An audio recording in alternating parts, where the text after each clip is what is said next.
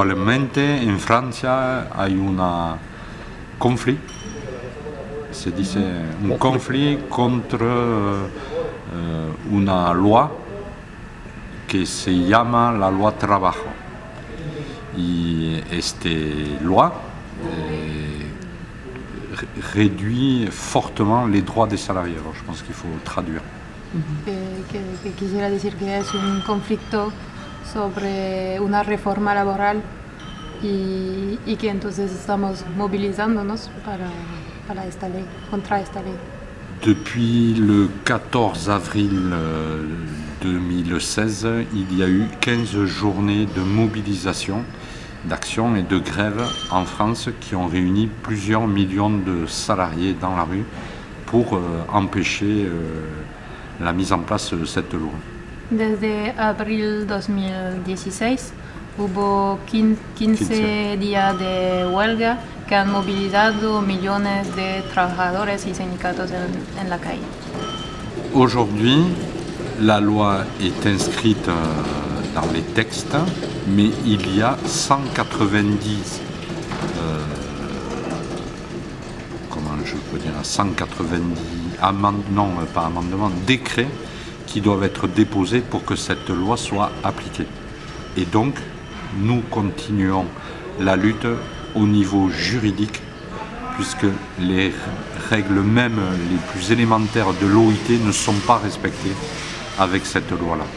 que ahora mm, ya la ley está pasando, pero todavía falta 190 decretos para que sea aplicado. Entonces tomamos el lado jurídico para que para parar y seguir parando esta ley. Entonces seguimos luchando, aunque fue aprobado al primer nivel jurídico. Et, et en plus, durant toute la période de lutte, il y a eu beaucoup d'attaques et, de discrimination syndicale, beaucoup de militants emprisonnés, arrêtés. Et, et c'est vraiment la première fois en France depuis 1968. Es la primera vez desde 1968 que tenemos una represión sindical tan fuerte. Hubo militante, militantes que fueron encarcelados, que uh, fueron pegados por policieros, policieros y entonces sí es una acción que fue muy violenta.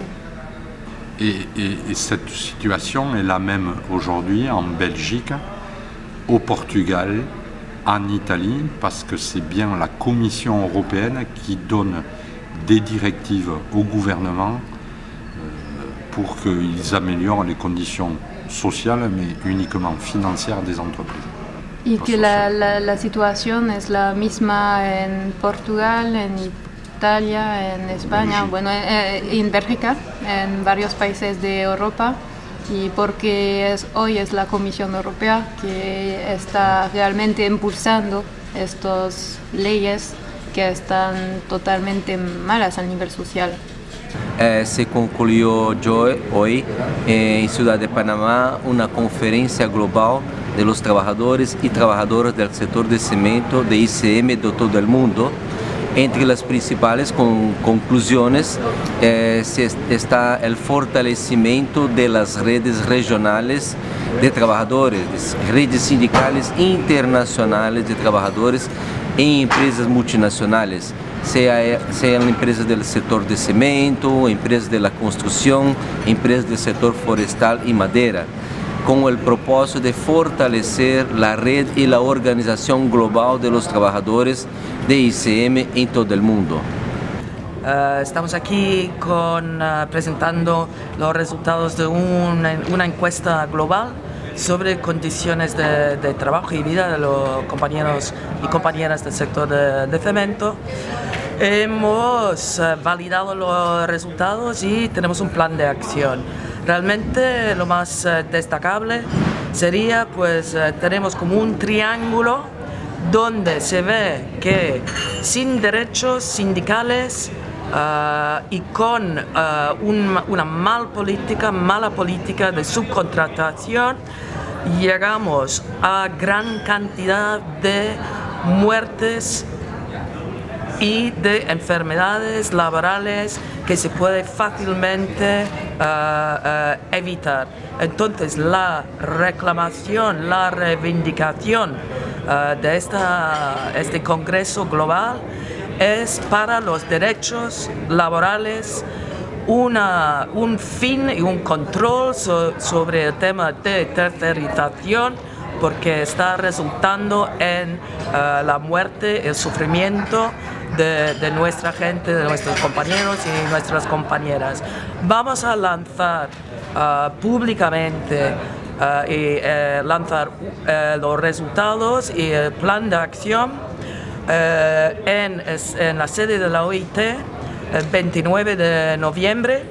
Vamos a escribir a todas las empresas eh, del sector del cemento con las demandas eh, de nuestra organización global y eh, también el año que viene vamos a seguir el 28 de abril, que todos ustedes en Panamá conocen muy bien, el Día Internacional de la Salud de los Trabajadores.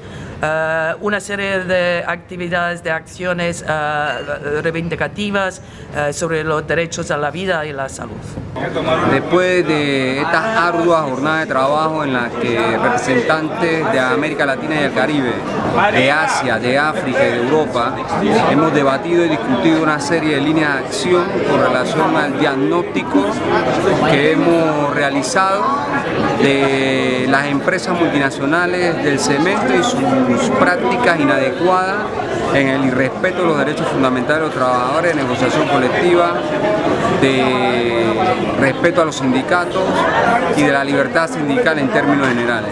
Hemos concluido esta jornada de forma exitosa y nos aprestamos a ejecutar ahora líneas de acciones para adecentar el trabajo en la industria del cemento.